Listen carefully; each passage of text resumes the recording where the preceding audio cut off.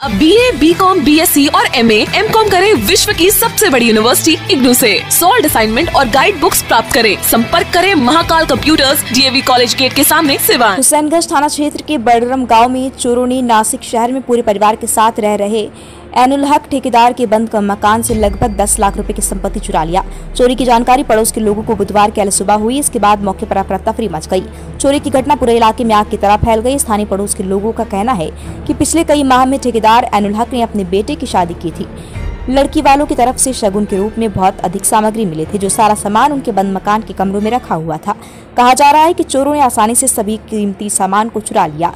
जबकि घर के अगल बगल में सटे हुए अन्य मकान स्थित हैं। इसके बावजूद भी चोरों ने घटना को इतनी सफ़ाई से अंजाम दिया कि उन्हें चोरी की भनक तक नहीं लगी। मामले में गृह स्वामी के रिश्तेदार कलामुद्दीन ने हुसैनगंज थाने को सूचना दिया। घटना की तफ्तीश को लेकर हुसैनगंज थाने के एसआई राकेश कुमार सिंह दलबल के साथ घटनास्थल पर पहुंचकर सारे कमरों की बारीकी से जाँच किया और सारे बिखरे हुए सामानों के बारे में गृह स्वामी के रिश्तेदारों से पूछताछ की। वहीं रिश्तेदारों ने बताया कि पिछले माह शादी हुई थी और शादी के कुछ दिन बाद हमारे रिश्तेदार नासिक में ठेकेदार करते हैं। वह सभी लोग चले गए। चोरों ने हर एक घर व उसमें रखी अलमारी को तबीयत से खंगाला है।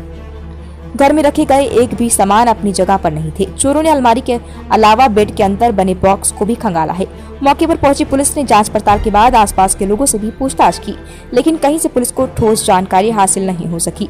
कहा जा रहा है कि अज्ञात चोरों ने बंद पड़े मकान से फ्रिज, कूलर, इन्वर्टर, स्टेबलाइजर और कई महँगे उपकरण के साथ घर के किचन में उपयोग के लिए रखे चावल समेत दहेज के जेवरात, कुछ नगद अन्य सामान भी आसान तरीके से चोरों ने चोरी कर ली।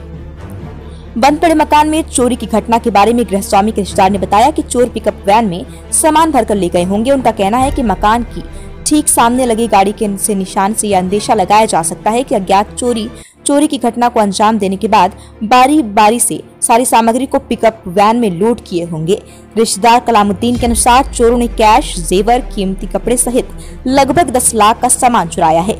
घटना के बारे में हुसैनगंज थाना प्रभारी ने बताया कि चोरी के आवेदन प्राप्त नहीं हुए हैं। आवेदन के बाद मामले की जाँच की जाएगी।